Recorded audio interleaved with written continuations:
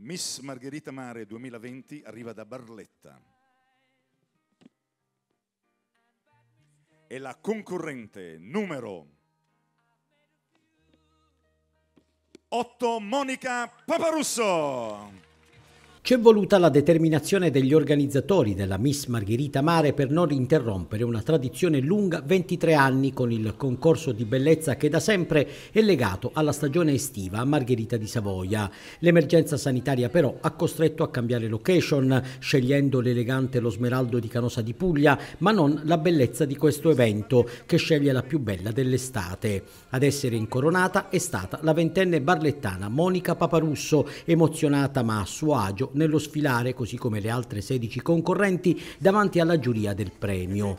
Tra bellezza e moda, la serata organizzata da Nino Di Pace e condotta da Lele Procida e Antonella Piccolo ha miscelato musica con gli assoli del sax di Nicola Forges e ballo grazie alla coreografia proposta da Universo Latino a far da cornice alle vere protagoniste della serata, le giovanissime aspiranti Miss.